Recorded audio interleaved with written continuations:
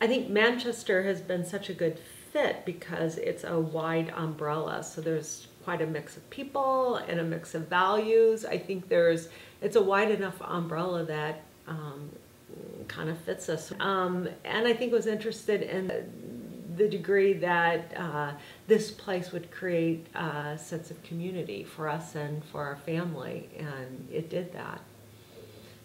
My name is Rusty Coulter Kern, and I'm a psychology professor here at Manchester. I'm Marcie Coulter Kern, and I'm a psychology professor here at Manchester. I think people really want to know about people. I mean, they're interested in people naturally and how people think and act, and why, why do people do the things they do? Everybody wants to know why people do the things that they do.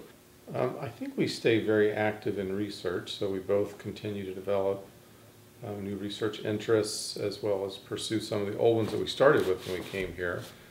And um, we invite students to participate with us in everything we do. Um, students leave our program with a really solid core of what psychology is about. Right. So a solid, solid uh, understanding of social psychology, uh, clinical and counseling psychology, cognitive measurement research, all of those different areas.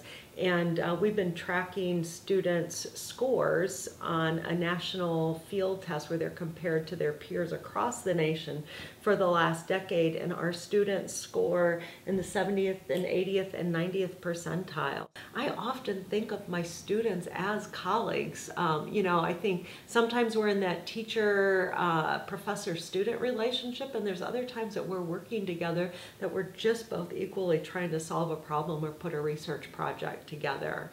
And so I think that is something that Manchester does really well is it, it, it creates a sense of community and builds relationships. And that's what students want more than probably anything else. I think it's what we all want is relationships with each other.